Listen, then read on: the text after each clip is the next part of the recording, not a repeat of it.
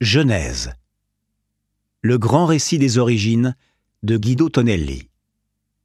Traduit de l'italien par Sophie Lem. Lu par Philippe Solier. Pour les Kuba du Congo, le grand Mbombo, seigneur du monde obscur, crée l'univers en vomissant le soleil, la lune et les étoiles afin de se libérer d'un terrible mal d'estomac. Pour les Fulani du Sahel, c'est le héros d'Oundari qui transforme en terre, eau, fer et feu une gigantesque goutte de lait. Pour les pygmées des forêts de l'Afrique équatoriale, une énorme tortue qui pond ses œufs tout en nageant dans un océan primordial est à l'origine de tout. Dans tous ces récits mythologiques, on retrouve presque toujours un état originel indéfini, déroutant, le chaos, les ténèbres, une étendue informe et liquide, un brouillard, une terre désolée, jusqu'à ce qu'un être surnaturel intervienne pour donner une forme, apporter un ordre. C'est le rôle dévolu au grand serpent, à l'œuf primordial, au héros ou au créateur qui sépare le ciel et la terre, le soleil et la lune, et donne vie aux animaux et aux humains. L'instauration de l'ordre est un passage nécessaire, parce qu'il établit des règles et jette les fondations des rythmes qui scandent l'alternance des saisons. Le désordre primordial renvoie à une peur ancestrale, celle d'être la proie des forces déchaînées de la nature, qu'il s'agisse de bêtes féroces ou de séismes, sécheresses ou inondations. Mais lorsque la nature est façonnée pour suivre les règles dictées par celui qui apporte l'ordre dans le monde, voilà que la fragile communauté humaine peut survivre et se reproduire. L'ordre naturel se reflète dans l'ordre social, dans l'ensemble des règles et des tabous qui définissent ce qu'il est possible de faire et ce qui est absolument prohibé. Si le groupe, la tribu, le peuple entier se comportent selon les lois établies par ce pacte primordial, alors ce maillage de normes protégera la communauté de la désagrégation. Du mythe naissent ensuite d'autres constructions qui sont à l'origine des religions, de la philosophie, des arts et des sciences, toutes disciplines qui s'hybrident et se fertilisent réciproquement, permettant à des civilisations millénaires de fleurir. Cet entre-là se rompt à partir du moment où les disciplines scientifiques connaissent un développement impétueux totalement disproportionné par rapport aux autres activités spéculatives. Le rythme somnolent de sociétés demeurées stables pendant des siècles est brusquement altéré par une suite de découvertes qui modifient profondément la façon de vivre de peuples entiers.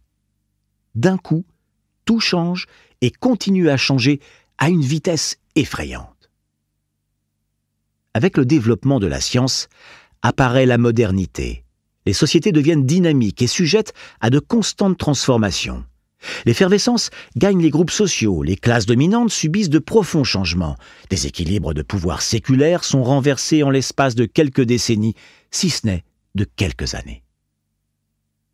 Mais les transformations les plus fondamentales, n'ont pas trait à la manière dont nous communiquons ou produisons de la richesse, dont nous nous soignons ou voyageons.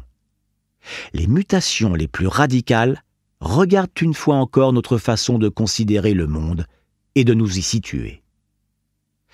Le récit des origines, qui dérive de la science moderne, acquiert rapidement une cohérence et une exhaustivité avec lesquelles il est difficile de rivaliser. Aucune autre discipline ne peut fournir des explications aussi convaincantes, vérifiables et compatibles avec les myriades d'observations produites par les scientifiques. Même si le scénario au sein duquel évolue l'humanité perd progressivement les caractères magiques et mystérieux qui l'ont accompagné pendant des millénaires, la vision du monde qui se précise petit à petit est la chose la plus incroyable que l'on puisse imaginer.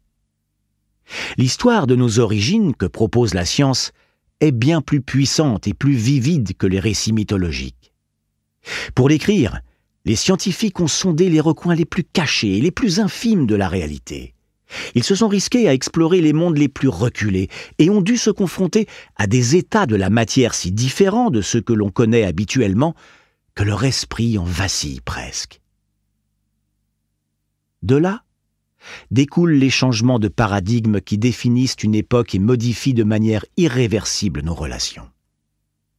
La pression incessante des découvertes scientifiques rythme ce mouvement souterrain, comme la puissante poussée d'un magma incandescent qui déforme la croûte terrestre et la déchire parfois irrémédiablement. Le récit que la science fait de l'origine de l'univers conditionne déjà nos vies. Il modifie profondément les bases sur lesquelles seront construits les nouveaux pactes sociaux, ouvre des scénarios inédits de possibilités à exploiter et de dangers à prévenir, et détermine le futur des nouvelles générations.